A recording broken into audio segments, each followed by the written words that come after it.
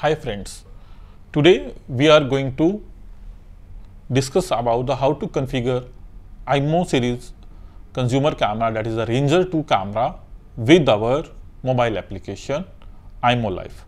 So for configuration we need mobile application that is called as a Imou Life that is available on I'm, uh, app, Google Play Store and application also available on the iOS store.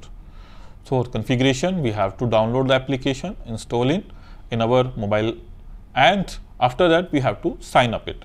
So this is a Ranger 2D camera having a PT function. The model number of this camera is IPC822EP. Now let's see how to configure it. So in the back side, here you can see it, there is a LAN port and there is a power input port that is micro USB. So you this uh, this camera having LAN option also, Wi-Fi option also. So here I am going to power in it by using micro USB cable. I am just plug in here. Here you can easily see this. This is a red color LED you are able to see here.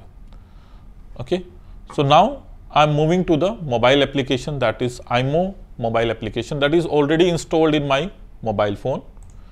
I am just going to view this how to configure this camera. Here you can see this camera is going to rotate. Okay, so it is powering on. Okay, so I am opening my mobile application.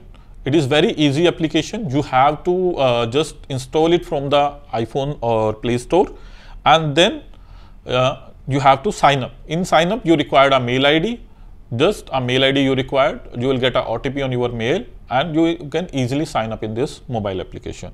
I am already signed up here. So here you can see this. There is a LED that is glowing green, flashing. Here you can see it. So it is flashing as a green LED. So at this moment, this camera is able to configure with our mobile application. So now in mobile application, I have to click on the plus icon. Here I am clicking and click scan by QR code. So I am going to scan the QR code. The QR code is available on the back side of the camera. So I am going to scan the QR code.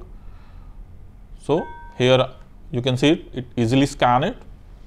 Now I have clicking on the next.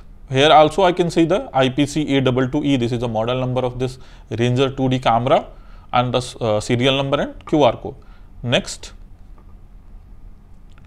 Now it is asking for the power input. So I already power it only, uh, already I power it on. Next, now is asking for the Wi-Fi. So here you can see the Wi-Fi is already available that is available on my uh, premises and the password you have to put it here. You have to remember here that Wi-Fi is 2.4 5 gigahertz is all, uh, only supported here. Uh, 5 gigahertz is not supported. Now I am clicking on the next. Now OK. Next. So now the configuration is done by the sound. So uh, my volume is uh, up to the mark and I have to put the camera near to the mobile. It take couple of seconds to configuration there is a sound wave uh, coming from the mobile for the configuration of the mobile camera. So let's wait for couple of seconds. Okay. So here you can see it. Now the LED is stable green. So it is connected with my Wi-Fi. It is showing it is connected with my Wi-Fi.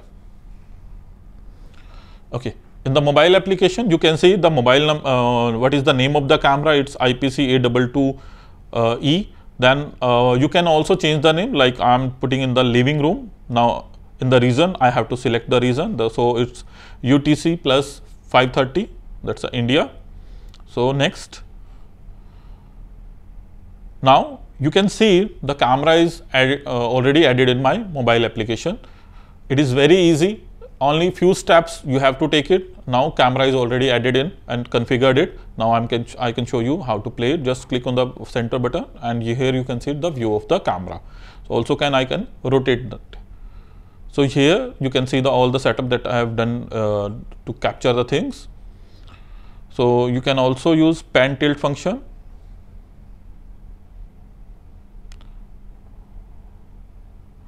Easily by using this pan tilt option. If you want more uh, to, if you want to change more settings, click on the settings option. Here you can also find the lot of settings are available.